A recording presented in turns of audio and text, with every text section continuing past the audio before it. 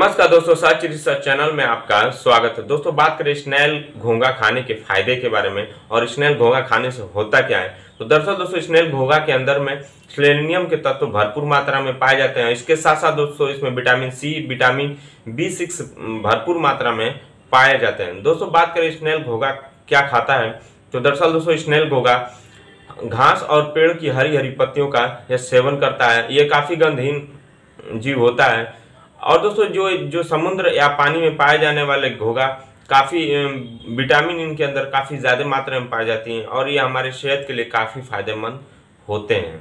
और दोस्तों, इसके साथ साथ स्नेल घोगा का सेवन करने से हमारे इम्यूनिटी सिस्टम काफ़ी मज़बूत होता है। और दोस्तों, इसके साथ साथ अगर बात करें घोगा खाने की तो दोस्तों, स्नेल घोगा खाने से पुरुष और महिला दोनों के लिए फ़ायदेमंद होता है। तो अगर दोस्तों अगर आप भी स्नेल घोगा के बारे में अगर नहीं जानते तो कमेंट करके ज़रूर बताएँ। कि अगर स्नेक घोगा आपने सेवन किया है तो इसके बारे में हमें ज़रूर बताएँ कि इसका टेस्ट कैसा होता है। तो दर्शक तो दोस्तों, आशा करता हूँ आप स्वस्थ हों। अगर दोस्तों, हमारी वीडियो आपको अच्छी लगी तो हमारे चैनल को सब्सक्राइब करें और वीडियो को लाइक ज़रूर करें, क्योंकि दोस्तों, हम हमारे चैनल पर हेल्थ से संबंधित सारी जानकारियाँ देते हैं।